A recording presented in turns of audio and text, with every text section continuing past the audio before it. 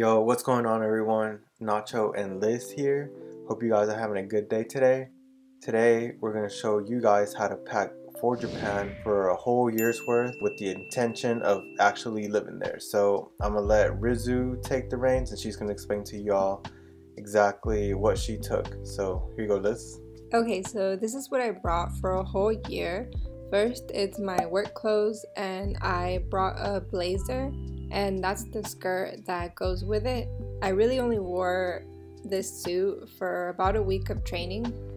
So, what I really brought for work were three pair of pants and five tops. I also made sure to bring two cardigans and these are just my casual clothes. I brought a pair of jeans and a pair of black pants. I brought two short sleeve shirts and two long sleeve shirts. So these are my dresses. That one's actually a romper and that's just the basic dress and this is more of a fancy dress which I did wear one time. Next is my workout clothes. So I brought two dry fit shirts, one short sleeve and one long sleeve. And I also made sure to bring plenty of leggings. Also, those are my running shorts. For shoes, I brought a pair of shower sandals. Those are my yoga sling sandals. My slip on vans, and those are my indoor work shoes. And I also brought my running shoes on the plane. So I didn't bring these, but I do recommend some rain boots for typhoon season. And I also didn't bring these. I had some family members bring them and then take them back. Along with my hiking boots, I had my visitors bring them and take them back. So before I left, I had made plans to climb Mount Fuji, so I did pack some stuff for that. I brought some hiking socks, a buff, a toe warmer, headlamp, a hat, and a water pack.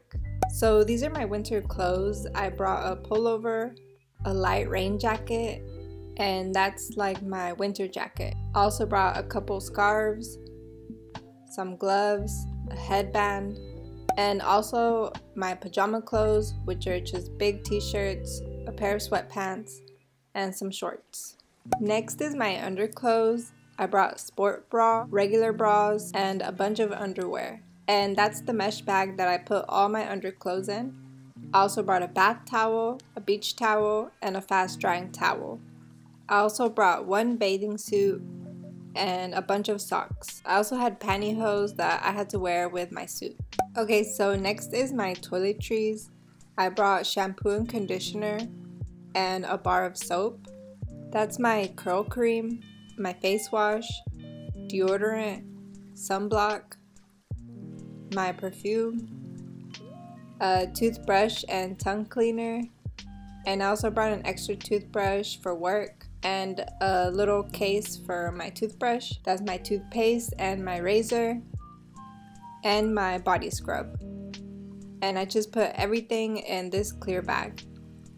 So I also brought some pads and panty liners. And next is my makeup. That's my makeup bag and inside I have a little lotion, some nail polish, a mirror with a little hairbrush, face cream, some makeup. That's bobby pins and hairband, chapstick. And in that little bag, I keep all my things like nail clip and tweezers and stuff.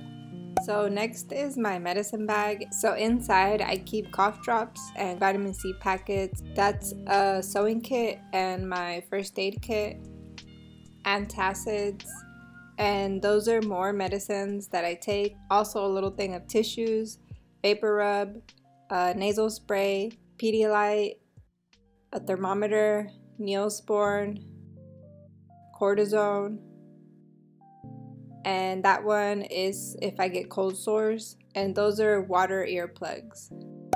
Next is electronics, and that's my battery bank, my universal adapter, a three prong adapter. That's my luggage tag and my luggage weight. I also take some headphones, my phone charger, my phone, and a flash drive. And I also brought a laptop with its charger. Okay, so next is a little weird. I did bring some kitchen things and I only brought these items because I already had them um, before going to Japan. So I didn't want to purchase them again in Japan. So if you don't have these, I would just wait till you get to Japan to buy them.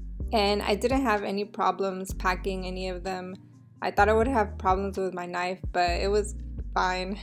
Um, and also that little cup, I use that for work in Japan. So in Japan, you actually brush your teeth after you eat lunch at work. It's pretty normal.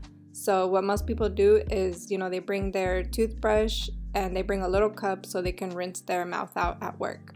So last is some extra things. I did bring a notebook and a pen and I put all my important things in a sheet protector. And that's my pencil pouch. It has pens, pencils, erasers, scissors. And in that little bag, I keep all my money, my credit cards, and of course my passport. And that's a lint roller that you will need for your suit.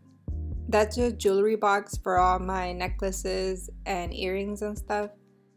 So this is the bag that I took to work and that's my purse and this is my book bag that I used as my carry-on item on the plane. Alright, so here I am packing all my things and I laid my suit down flat first which really helped to keep it from getting wrinkled. And the rest of the clothes I just folded it some of it um, I did roll it up. It just depends like what kind of material the clothes is made of. That's my liquids bag down there. And I did want to mention about the toothpaste. When I was doing research to move to Japan, a lot of people mentioned about bringing a lot of toothpaste. So the reason they claimed to bring toothpaste was because toothpaste in Japan has no fluoride. I found this to not be true. There's plenty of toothpaste in Japan that has fluoride. So I wouldn't pack uh, more than one tube. Also, something that I think you should pack that I didn't show in this video is a roll of toilet paper and that's to help for when you first move there and move into your apartment. So another thing that I recommend is to practice packing several times. I practiced a lot of times and I eliminated a lot of things because you can only take so much. And also make sure to weigh your luggage if you think it is over 50 pounds. 50 pounds is kind of like average of how much weight you can carry on most airlines. I had no trouble uh, going to Japan with what I took, but when I left, my bag was overweight multiple times. So be sure to double check that. So, one last thing is that you can take your PS4 with you. I didn't pack it in this suitcase I actually packed it in my carry-on and I took it with me on the plane. Alright, so that's it for this video. Hope you guys enjoyed. Hopefully this video could help you guys out with your future travel plans. If you did enjoy, don't forget to leave this video a like. It would really help us out with the YouTube algorithm. Also, stay tuned for more travel videos like this, so make sure to subscribe.